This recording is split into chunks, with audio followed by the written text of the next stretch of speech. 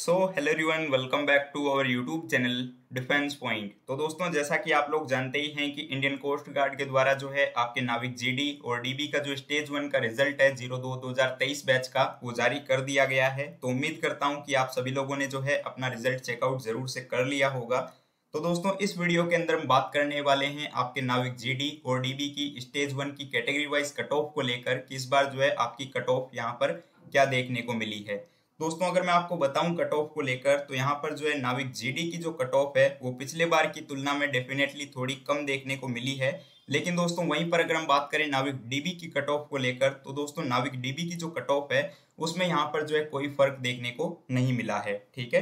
तो आगे हम बात करेंगे कि इस बार जो है कैटेगरी वाइज कट ऑफ़ कितनी गई है। लेकिन दोस्तों, ये भी एक बड़ा फैक्टर हो जाता है कि इस बार जो है नाविक डीबी में पोस्ट भी कम है और साथ ही जो है यहाँ पर इस बार जो कोस्ट गार्ड में टोटल फॉर्म आए थे, वो भी जो है लगभग ढाई से तीन लाख फॉर्म भरे गए थे। तो वीडियो शुरू करते हैं बिना किसी देरी के। तो आप लोग जो है यहाँ पर देख सकते हैं कैटेगरी वाइज कट ऑफ़ को लेकर हम बात करेंगे। मैं यहाँ पर जो है नाविक जीडी और डीबी दोनों के लिए डिस्कस करने वाला हूँ। तो सबसे पहले अगर बात की जाए आपके नाविक जेडी की पोस्ट को लेकर तो आप लोग जानते हैं कि 110 मार्क्स का यहाँ पे टोटल पेपर होता है, जिसमें कि दोस्तों इस बार जो है जनरल कैटेगरी की जो कट ऑफ़ है, वो यहाँ पर 76 मार्क्स देखने को मिली है। पिछली बार जो दोस्तों कट ऑफ़ थी, वो यहाँ पर 80 मार्क्स गई थी, लेकिन इस बार जो है यहाँ पर चार नंबर कम है, यानी कि 76 मार्क्स जो है वो जनरल की कट ऑफ़ देखने को मिली है।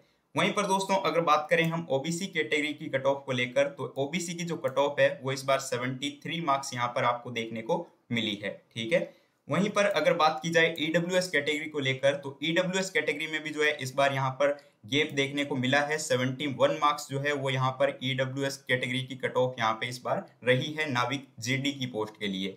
और एससी कैटेगरी के लिए अगर बात करें तो दोस्तों एससी कैटेगरी की जो नाविक जीडी की कट ऑफ़ है, वो यहाँ पर अड़सठ मार्क्स यानी कि 68 मार्क्स देखने को मिली है। दोस्तों, मैं यहाँ पे बता दूँ कि अभी तक जो है नाविक जीडी की एसटी की कैटेगरी की जो कट ऑफ़ है, वो यहाँ पे पता नहीं चल पाई है।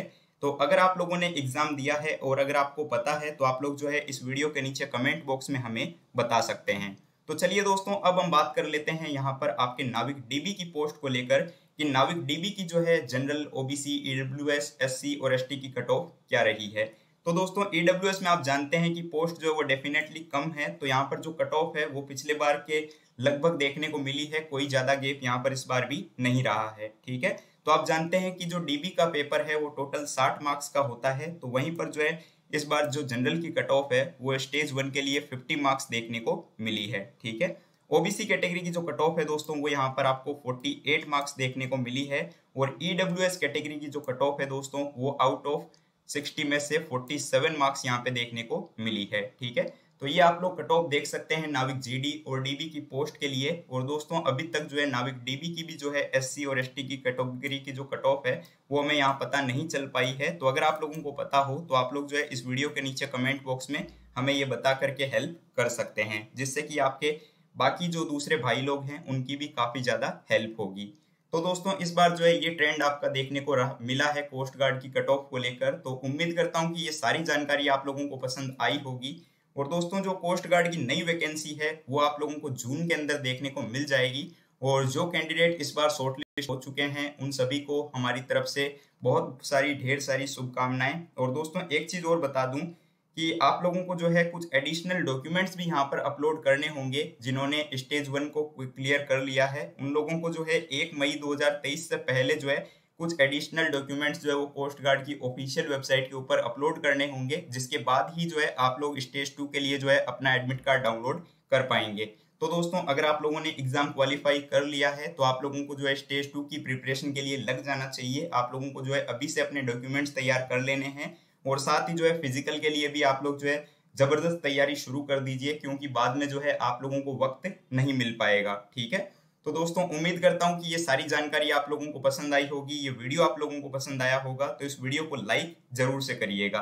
और एक और इम्पोर्टेंट अपडेट देना चाहूँगा कि दोस्तों अन अकेडमी के ऊपर जो है, हमारी डेली रेगुलर क्लासेस चलती है तो अगर आप लोग जो है, आगे के एग्ज़ाम्स के लिए तैयारी करना चाहते हैं तो आप लोग जो है डेली दोपहर को साढ़े बारह बजे और रोज दोपहर को तीन बजे जो है, हमारी लाइव क्लास को अटेंड कर सकते हैं। और साथ ही आप लोग जो है टेलीग्राम ग्रुप को ज़रूर से ज्वाइन कर लें, क्योंकि वहाँ पर जो है आप लोगों को डेली रेगुलर क्विज देखने को मिल जाते हैं सुबह दो, साढ़े दस बजे। और साथ ही जो है कोई भी इंपॉर्टेंट अपडेट जो है वो सबसे पहले आप लोगों को टेलीग्राम पर प्रोवाइड करवाई जाती है।